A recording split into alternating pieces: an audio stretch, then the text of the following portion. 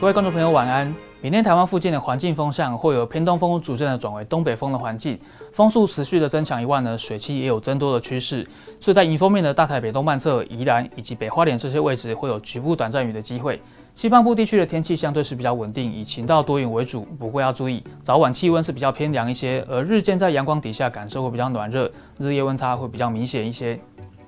我们接着来看卫星云图哦，今天台湾附近的环境风向是偏东风为主。而周围的水系都是比较偏少一点哦，所以全台各地大多是晴到多云比较稳定的天气形态。不过呢，在南边的低纬度热带洋面地区哦，相对来说还是比较不平静一点哦。在今天早上有新的热带性低气压生成，而这个热带性低气压未来有机会进一步的发展增强，可能会成为今年的第二十二号台风，叫做奈格台风。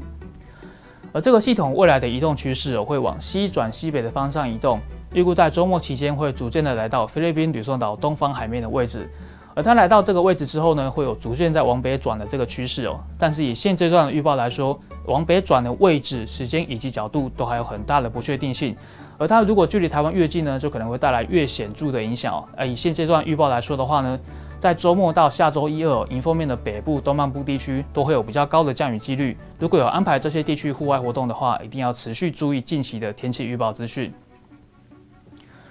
接着来看台湾附近的状况哦。明天到周五，环境风向会逐渐的转为东北风，水汽也有增多的趋势。所以呢，迎风面的大台北地区、宜兰花莲这些位置哦，降雨几率都会提高。桃园这个位置呢，也偶尔会有些局部的短暂雨影响。而周六到周日呢，这个下雨的范围会有在逐渐的扩大的趋势。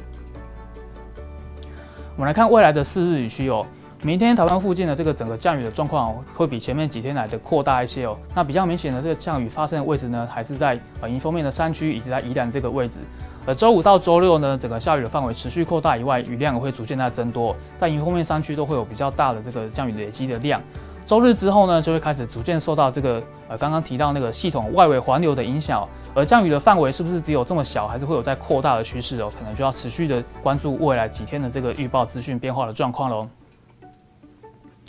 我们接着来看未来的温度趋势图。以北部地区来说的话呢，在未来这一周以内哦，并没有明显的冷空气南下，哦所以早晚的低温大致上都还是在二十一度左右。不过白天高温就有比较明显往下降的趋势哦。最主要就是因为从周末呃到下周这段期间呢，云量比较偏多以外，也会有比较高的降雨几率哦。这个云量遮遮蔽了白天的阳光的这个加热的效果，所以高温就有明显往下降到二三到二十四度。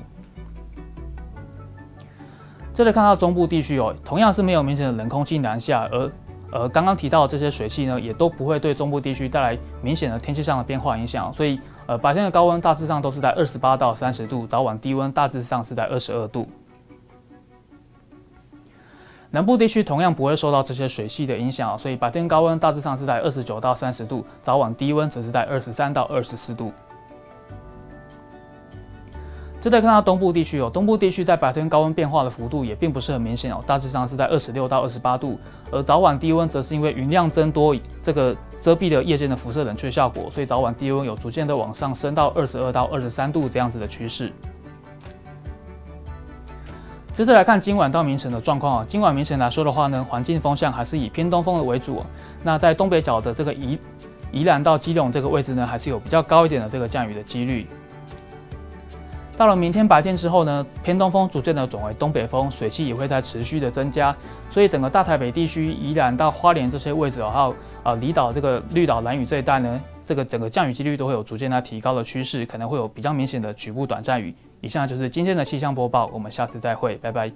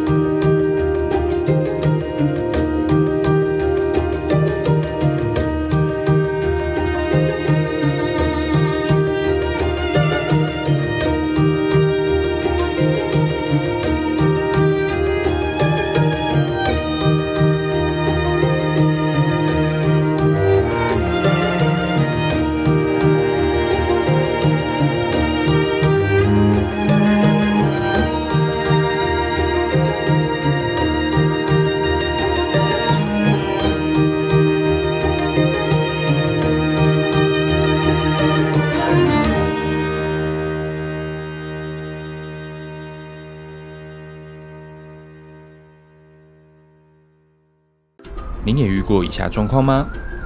出大太阳的好天气，准备看场期待已久的演唱会，表演还没开始，雨丝却开始飘下，甚至还变成滂沱大雨。其实您可以避免这种状况发生。科制化天气预报，拥有气象预报证照的专业分析师，小至一路段、一栋房的预报范围、温度、湿度、风向、风速都不缺的资讯，提前决定雨备或是延期，减少损失。你也曾为阴晴不定的天气所困扰吗？快来找我们，办活动的最佳选择——科制化天气预报。